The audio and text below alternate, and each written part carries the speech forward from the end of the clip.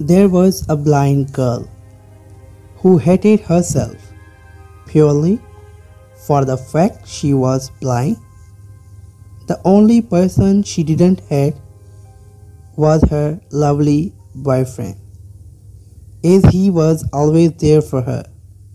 She said that if she could only see the world, she would marry him.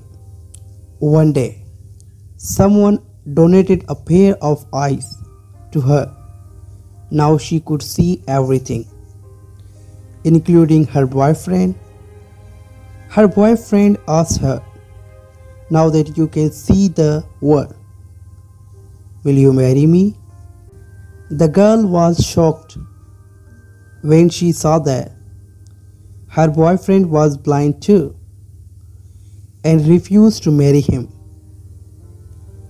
Her boyfriend walked away in tears and later wrote a letter to her saying, Just take care of my eyes, dear.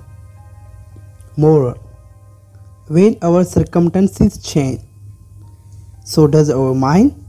Some people may not be able to see the way things were before and might not to be able appreciate them.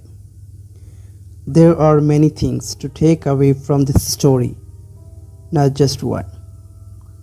So, dear friends, keep watching the stories.